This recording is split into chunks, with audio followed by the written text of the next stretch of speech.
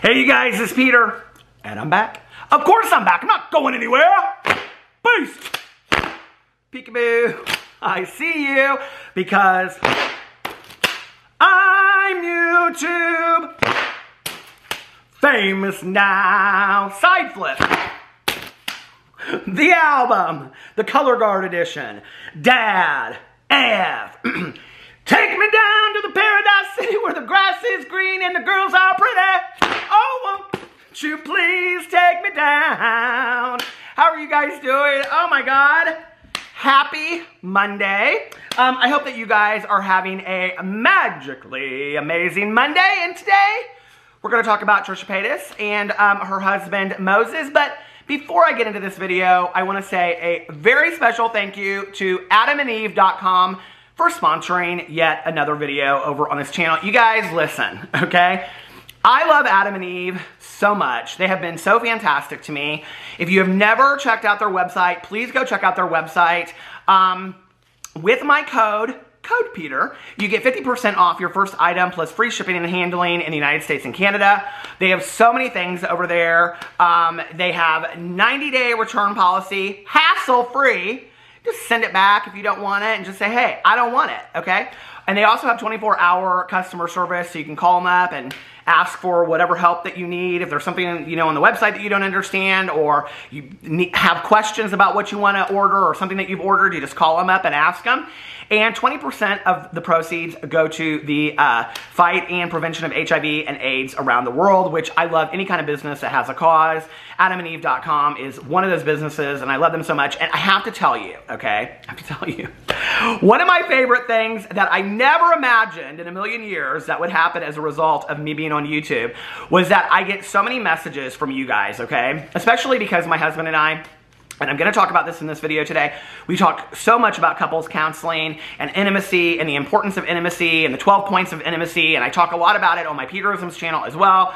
Um, so many of you couples out there will contact me and be like, we got up on the website tonight and we ordered a few things and we had so much fun and thank you so much. And, you know, there are other people out there, singles too. It's for singles as well. Will, uh, you know, uh, DM me or even in the comment sections, people will be like, I used your code. Thank you so much. So you guys, thank you so much for letting me know.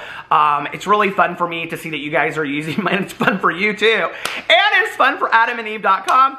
Um, but it really is fun for me to see that you're actually using the code and purchasing things. You don't even have to tell me what you buy, you know? Please, please. But um, anyway, it, it's fun for me to know that people are actually getting use out of the code and having fun with it and that it's, you know, bringing happiness to couples and things like that. So I think, you know, many of us could use a little, you know, spark in the passion of life. So, Thank you, adamandeve.com. All the information is listed below. All right, let's get into today's video. Now, I have a hat on.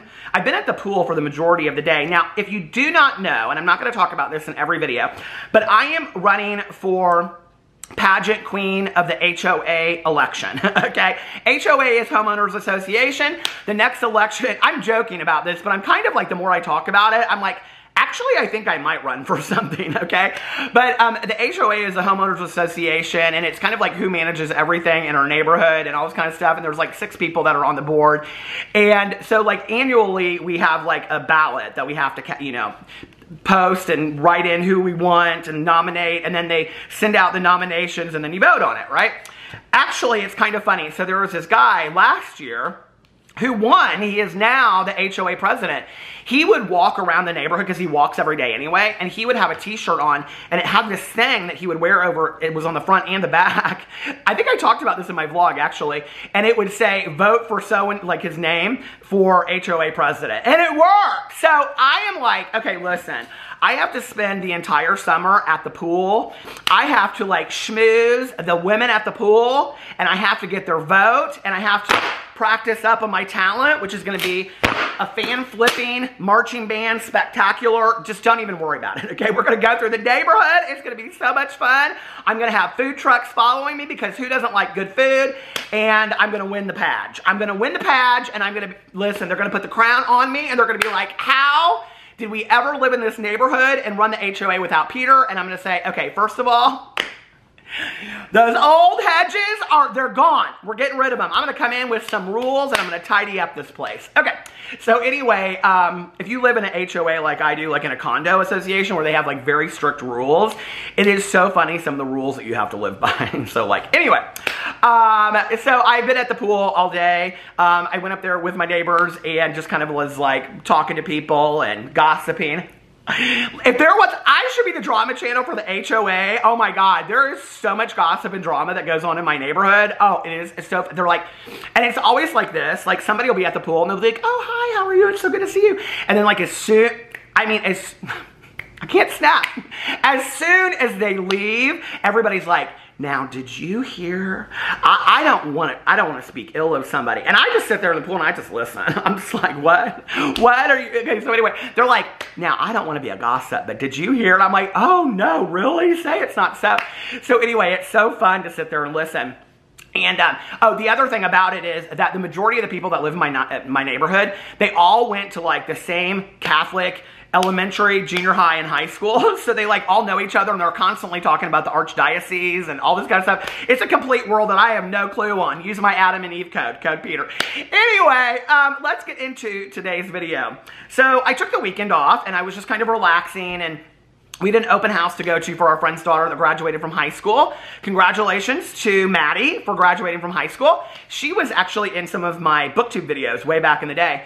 Um, and we just had all kinds of stuff that we were doing this weekend. So I was like, I'm gonna take the weekend off from filming videos and I'm back. Tomorrow, I may not film videos because tomorrow is my husband's birthday. Happy birthday to um, my husband, Alex. And um, he's got all kinds of stuff planned that he wants to do, so that's real exciting. Um, anyway, so I wanted to talk about this today, and I've been kind of wanting to talk about this for a while because I had seen um, Sebastian Soto do a video about this. Now, if you don't know who Sebastian Soto is, Sebastian Soto, fellow drama commentary channel, is um, a Trisha Paytas channel.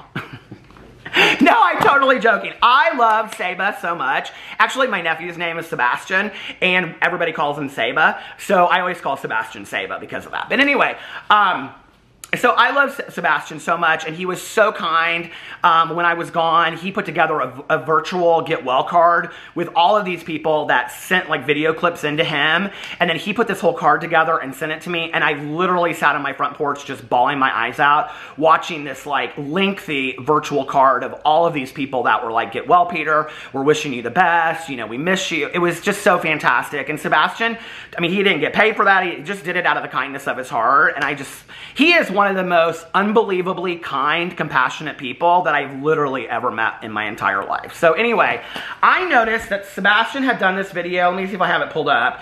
Um, I do have his channel pulled up right here. Please, I'm going to link Sebastian's channel below, probably from this video. Go subscribe to Sebastian. He would love that, and he's just so fun and ha-ha. And if you kind of like if you like the energy and the flipping of the fans and the funny haha, and he too wears lip gloss. Where's my lip gloss?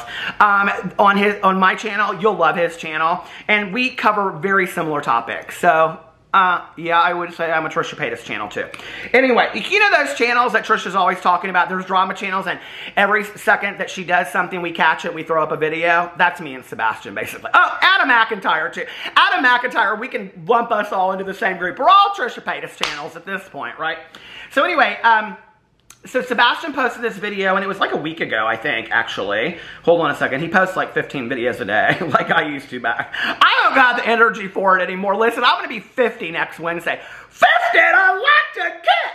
I am so excited to be able to say that in a video because for years I have stolen that. I think it's Molly Shannon on Saturday Night Live. She's like, I'm 50 and I like to kick.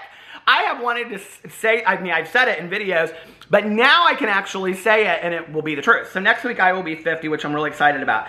Okay, where is this at? Trisha Paytas and Moses caught lying. Trisha Paytas, Moses breakup three days ago. So I will link it below so you guys can go check it out. It actually has footage from a Trisha Paytas live stream in there that I'm not going to include it in here. Um, Sebastian, he got it himself. You go watch his video, go see the clip, okay? If you want to go watch the clip and then hear what I have to say about it, do.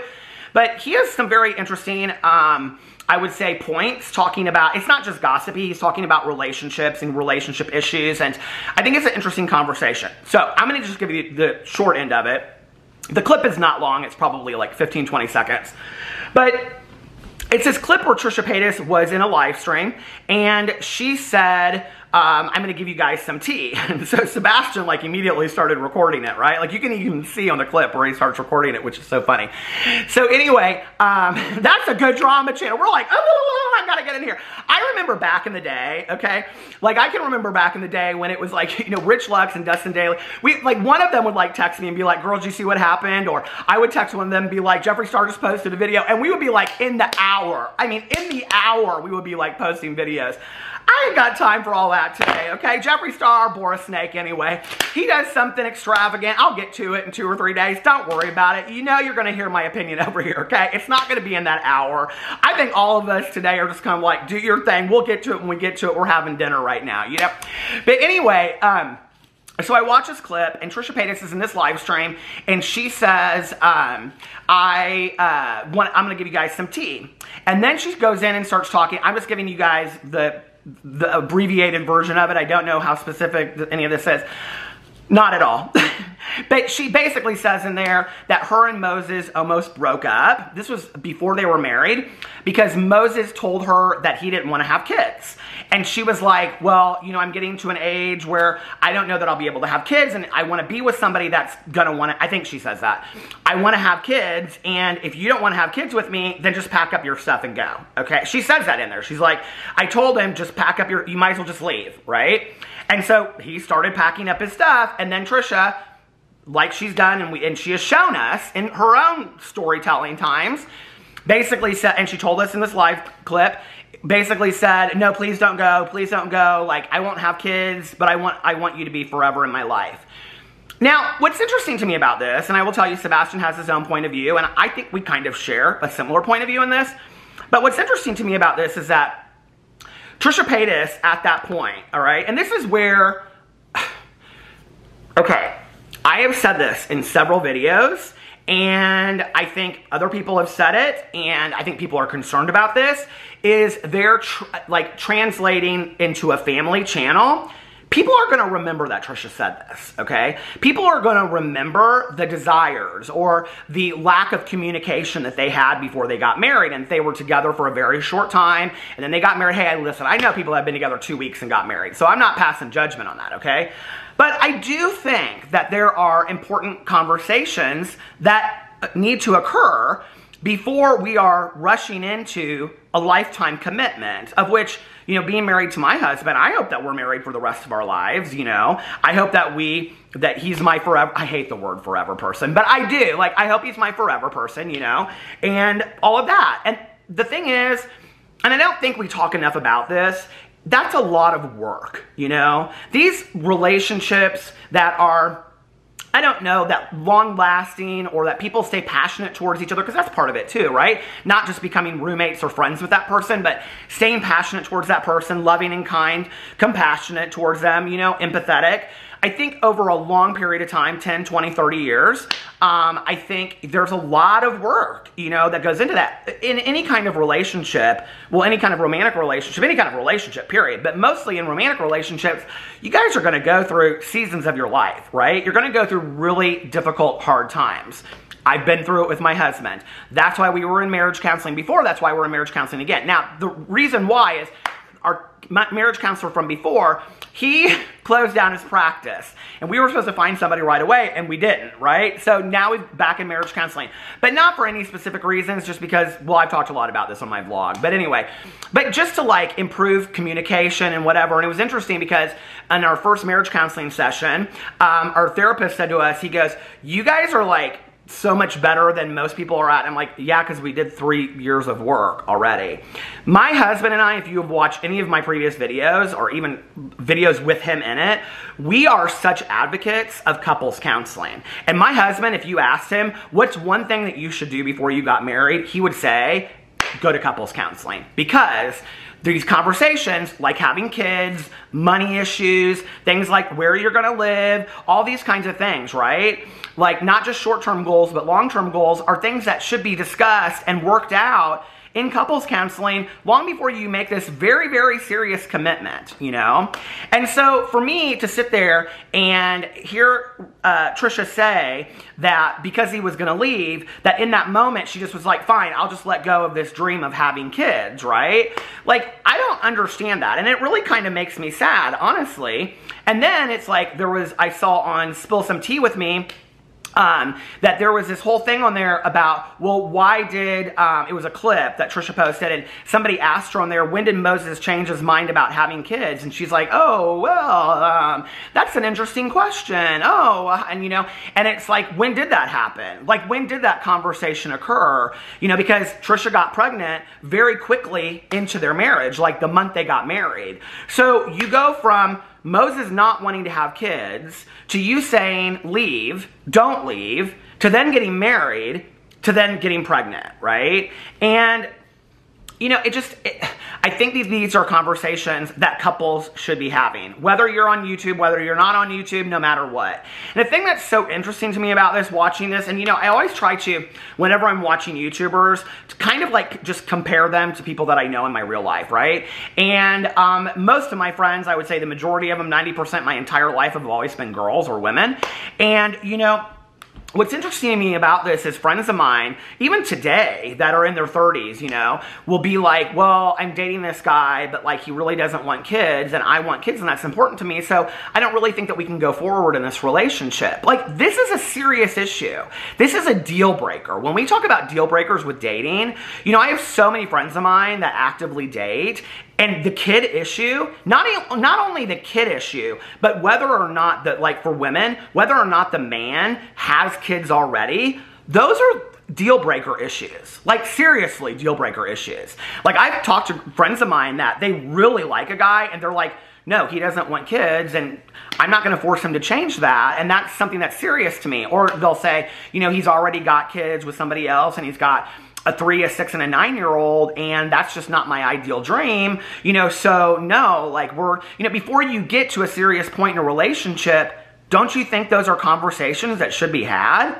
I mean, before you're getting to a point where you're like, okay, we're getting married next week, or before you get to a point where it's like, okay, move your stuff out, you're already living together, don't you think those should be conversations that should be had? I do. I think those are conversations that should be had.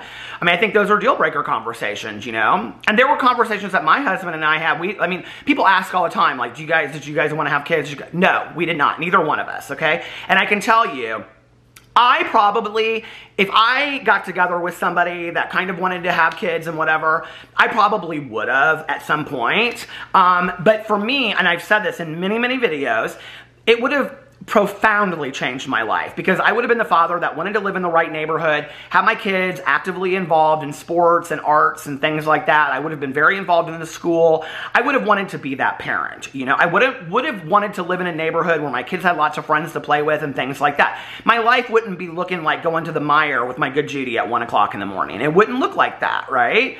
Because there's a lot you trade off with being a parent because you choose to be a parent, right? And so, like, you know, like that for me is like a huge, it was a huge deal breaker thing. My husband was like, absolutely not. I don't want kids. And so it was perfect for both of us because we're like, we want to travel, you know, whatever. And we even tell people this. And this is such like, I think this kind of gets a bad connotation in our society today. But like Alex, my husband and I will both tell you, we're too selfish. Like, we want to travel. We want to go do stuff. We want to stay up as late as we want to. Like, that was not a dream of ours. That was not on our bucket list of I have to do these things before I live. Do I understand people? Yeah, I have many, many friends of mine that have kids that that was their dream. That's what they wanted, you know? But that was not for me.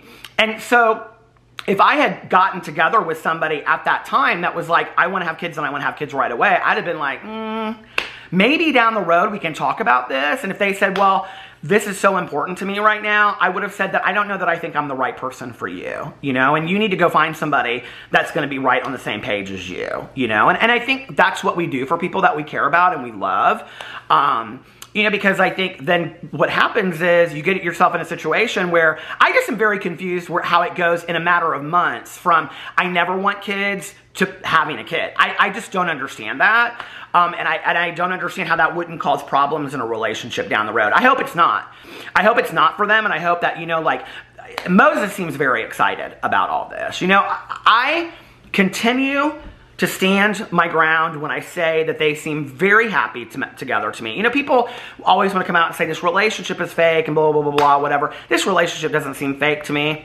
Does he seem like her assistant? Like, by definition, he does a lot for her. Yes, he does, right? Maybe that's just who Moses is. I don't know. You know what I'm saying? I think it'd be kind of hard to say no to Trisha Paytas. I'm just saying, right? But they seem very happy to me. You know, I don't know. Maybe Moses thought, I didn't really want kids, but I love Trisha so much that if this is what she really wants, I guess I'll have a kid for her, you know? And, and, yes, I think I would make a good father and whatnot. But I do think that this is going to be something that's going to be highly scrutinized when it comes to them posting a family channel and showing all this. I really don't think they should show any of it at all. I, I really don't. I also think, like, you know, I was thinking about this as I was setting up my ring light and stuff today, that it's interesting to me because Trisha already can't stop being in live streams, talking about this. I mean, she's bringing all this drama and attention to it. What is going to automatically stop the moment that this child is born? I mean, is she still going to get in live streams? I mean, she gets in, I've been in live streams, okay, and said things I wish I hadn't. So, because you're like, I mean, you know, Trisha edits and things like that sometimes. It's like you are in a live stream, people ask you something, if you respond to it, that's going to be forever noted. If you're a family channel that's based on parents and showing their, which are highly, highly criticized right now, okay? These family vloggers are being so highly criticized right now, you know? I mean, you're talking about a whole different world that I think they really, it, it's, you know, it's one thing to have this dream. It's one thing to get excited and being pregnant and congratulations to them and, I, and I, you know, whatever. But it's another thing to show every bit of it online. I don't know. You know, one of the things, and I want to talk about this as far as like couples counseling and stuff, when I was watching YouTube way back in the day, when my husband and I will have been together this year in August, we'll have been together 14 years if we make it to August, which, listen, things are good over here in the romanticals. So anyway, use my Adam and Eve code. But no, like, so 14 years we've been together, right? And I can remember watching YouTube. I don't know when I started watching YouTube, but I watched a lot of gay couples at the time. I still do. And I talked about them on here not too long ago. I watched, you know, Andrew TMI, who has a boyfriend who's not very often in his videos, but he talks about him in his videos. And Matt and Blue, and, and there's, you know, other couples that I watch. Uh, Taylor Phillips and his boyfriend are on YouTube and things like that. I watched Chris and Ian until they broke up. Broke up. And, um, but back in the day, you know, I would watch uh, these gay YouTubers and they'd always be like, hi, how are you? Oh my God, we love each other so much. And then like a month later, they come out with a breakup video. And it would just be like, oh, we're so sad. And it would be just one of them. And they'd say like, we just broke up, right? Um, I also watched Mark Miller and Ethan Heathcote for a long time because they were from Indiana and I had friends that knew them. Um, and they're no longer, they've broken up and things like that. And I'm not saying anything about the breakup, right? Like, I mean, people break up. Let's just be for real. So, but you know, I would watch these channels and I watched at the time, and this was really, they are a huge part of why I am on YouTube today, is um, RJ and Will from Shep689. And um, they were a couple that started in Florida. They were both in college. They moved to LA. They really were an honest couple. Like when they had arguments and stuff that happened, like they would talk about it. And I really appreciated it. You know, I was like, this is like a real couple. And uh, my husband and I even had the opportunity to interview them at one point. And they were just really nice guys and they were really open and all this kind of stuff. They have since broken up and taken, like their channel is, is I think non-existent at this point. So anyway, but there was this like, I felt like this kind of fake, fakeity, fakeity couple thing on YouTube that was like, um, you know, like, hi, how are you, blah blah whatever, you know? Trisha Paytas was even somebody that told me back in the day, she's like, there's a lot of couples on YouTube that are fake. And the only reason they're together is for the YouTube channel, right? I think it's interesting that she told me that. I don't believe, in retrospect, I don't believe, like, looking back at that, that that's her Moses. I don't. Like, I don't know. He just seems to be like, eh, honestly, he's, like, people say, why does he co-sign her lies? I said in my last video, why does he co-sign her lies? I don't understand it. I think in looking back at it the last couple days, I just think he's so, like, enamored of her and, and kind of like spellbound to some degree. Like Trisha can do no wrong.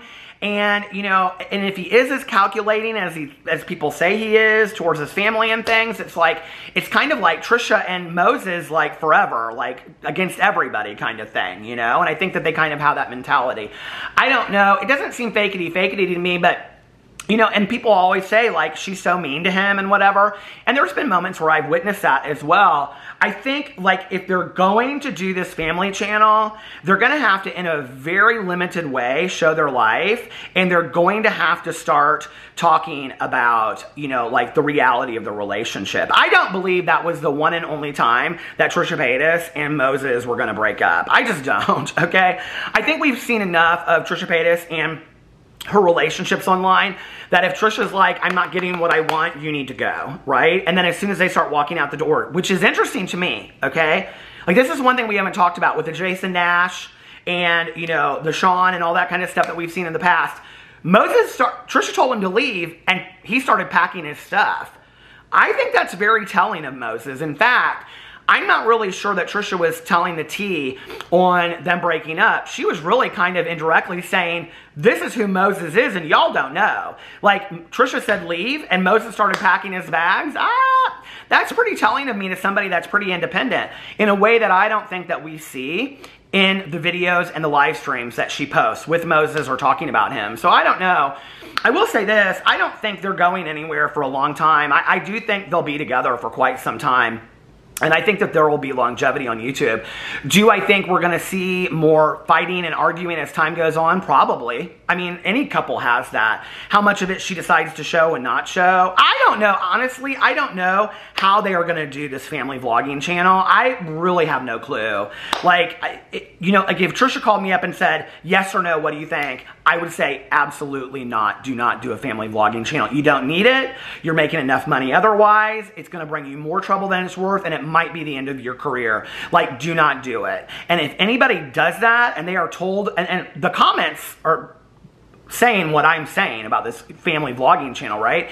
And if she's like, I'm to do it anyway, I mean, do you. Do what's to make you happy, right? At the expense of, I don't know.